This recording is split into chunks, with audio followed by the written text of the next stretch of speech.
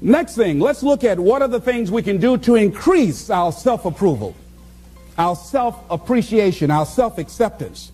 Here's number one, love yourself. Make caring for you the highest priority in your life.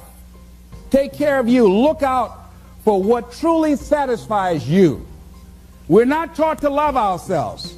We're not taught to look out for ourselves. We're not taught to take care of ourselves, to become sensitive to our wants, to our needs, our, our desires. So make a conscious effort. Make you number one priority. Your peace of mind. Your health is more important than your family and any and everybody. Because if you don't have peace of mind, if you don't have your health, you can't serve anybody. Don't neglect yourself. A lot of us, and particularly ladies, have been groomed to be sacrificial lambs, putting their dreams on the back burner in deference to their children's dreams or their husband's dreams or their family's dreams, and forget about themselves. Then become resentful and angry and bitter. So start taking care of yourself, looking out for you. Develop a health plan. Your health is all you got. So start taking care of you. Eating nutritious meals, willing to exercise your body, taking care of this body, loving yourself. So do some good stuff for yourself on purpose. Take some time out for you. I have some good things I do for me. One of the things I enjoy that I do, I take spiritual baths. My assistant introduced me to someone called Sister Sarah who gave me my first spiritual bath. I never heard of this before. She told me about it and I said, come on, come on, Regina, spiritual bath. And um, Sue, my secretary's husband, named Larry, he said, a spiritual bath for $50, I'll give you a spiritual shower. but I play soft music. I've taped some of my favorite music. I play, I burn a candle, and I have different oils that I put in the tub of hot water, and I have flowers that I picked and I put, I like, you know, I saw Coming to America, you know, Eddie Murphy. You know, they were sprinkling little flowers on the ground. so it gives me a feeling of royalty. So I, I sprinkle these flowers in the water and I soak. I like doing that. And I soak and sometimes I read or just relax and enjoy the music and just cool out. That's my time for me. Put the answering service on. I just block out some time for me. I'm into meditation. I've been working and, and exercising now, just doing some things for me, taking care of myself mentally, emotionally, and spiritually, and physically. You can't develop and manifest your greatness. You can't be a high achiever if you don't feel good. You don't take care of yourself. So I'm taking care of me. And then you know what? It takes the edge off your life. It helps you to manage things rather than allowing them to manage you gives you more personal power to deal with stuff. Take care of you. Now, here's something else I suggest for you. Become aware of what your needs are and develop compassion toward yourself despite your human defects. Develop compassion for yourself despite your human defects. You will never be perfect. Hello. You will never be perfect. You're human. You've made a lot of mistakes. You've done a lot of dumb, stupid things. Guess what? You're not through yet. You're going to do some more. Hurry up and get it over with. it's all right. Got to learn to be gentle with yourself. Make it all right. What you don't know, mistakes that you make. It's okay. Handle it. Learn from the experience. Decide that you are going to, whatever you become involved in, to be upfront, to be true to yourself. Are you getting what you need out of it? And be upfront with people and tell them what you need from them. Don't assume that they know. Don't say, I thought you knew. No, tell people up front, here's what I need from this in order for this to work for me. Be upfront with your stuff. Tell them up front so they're not surprised later on. So your feelings aren't hurt later on. See, if they tell you up front they can't do it, now you know you can keep on stepping. But tell people up front, here's what I want. In order for me to play this game with you, if we're going to dance, this is what I got to get out of it. See, if you don't take care of your needs, guess what? You will always have that nagging song in the back of your mind say, well, when do I get mine? When am I going to start enjoying this? Are we going to have a good time together? Do I get any utils out of this at all? You're going to start asking that question. Everybody's happy having a good time, but you? They say, well, we thought you were happy. How could you think that? Well, you weren't saying anything. Well, I'm saying something now. Hope you got that. See, we're taught to be quiet and not speak up for ourselves and not to be selfish. If you don't take care of you, who do you think is going to take care of you? Who's going to look out for you better than you will? No one. No one's going to do that. You got a business? No one's going to take care of your business better than you. Nobody. Nobody. Anything you want to do in life, you've got to take ownership of it and say, hey, I'm going to make this happen. Be willing to venture out and do something that you have fantasized about doing. And you know you probably won't be good at it, but do it anyhow. Case in point, I have always wanted to sing. I've always wanted to do that. I'm going to sing a song. If I don't do nothing but just a few lines, chances are, you know.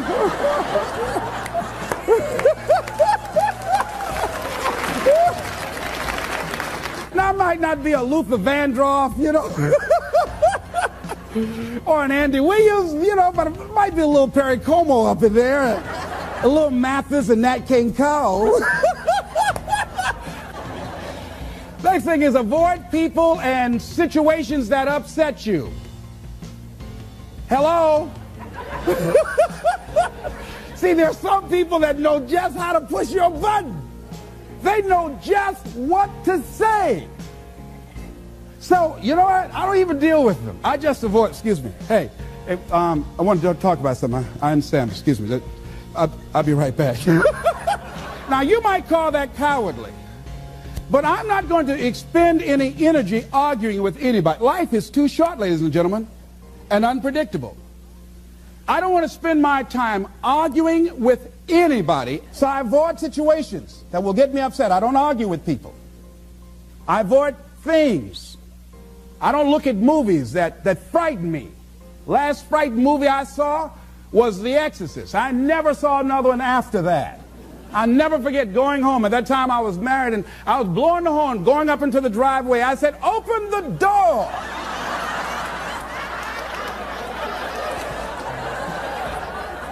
I pull up, open the door to get out, and I said, Oh, Lord, they got me. I started blowing the horn. My wife said, Unfasten your seatbelt, fool.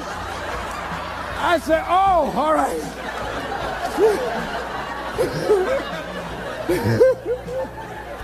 That movie scared me out of my wits.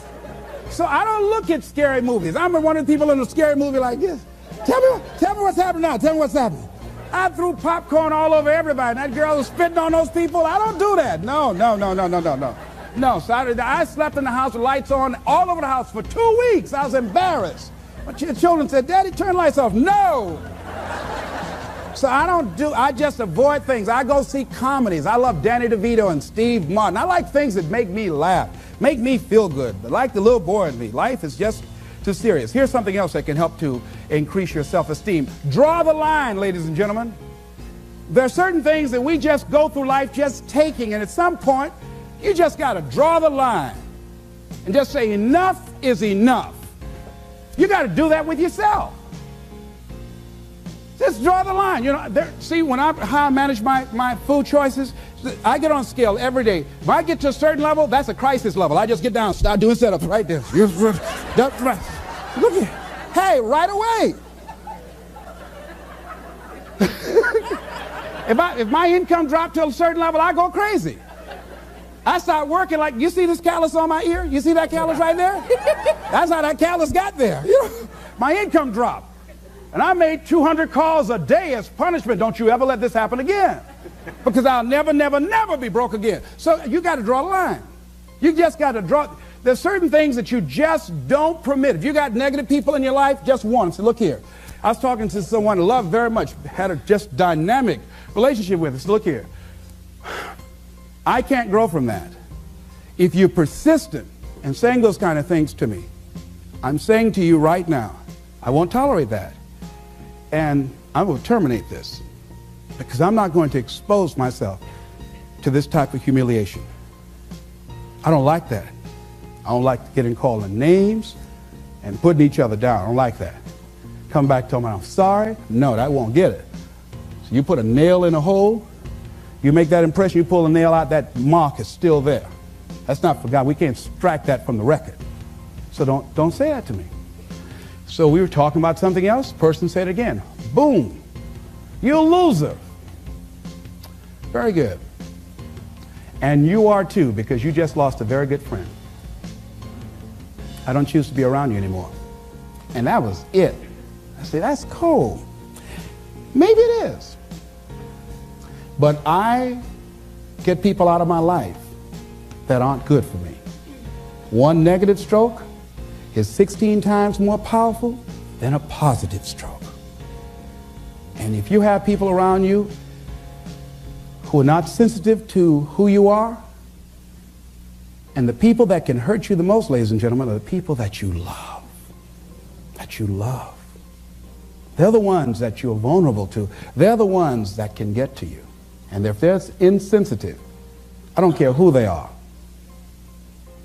See, if you don't draw the line with people, if you just let them run rampant in your life, and you let things happen to you that you don't feel good about, if you continue to allow it to happen, you won't feel good about yourself. Your image of yourself will erode. So you've got to draw the line.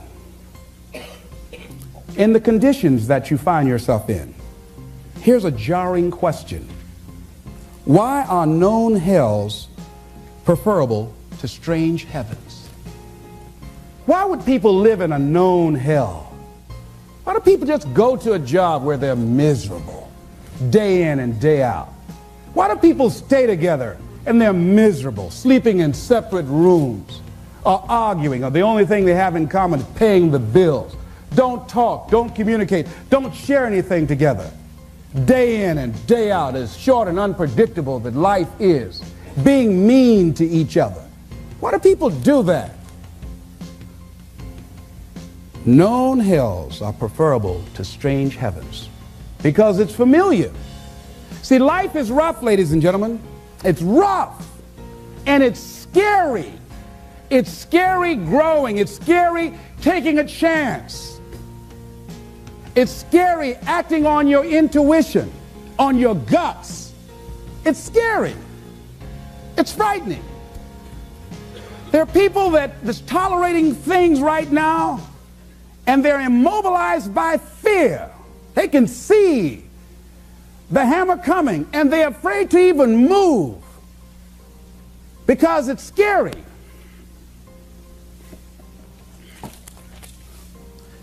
Theodore White said something.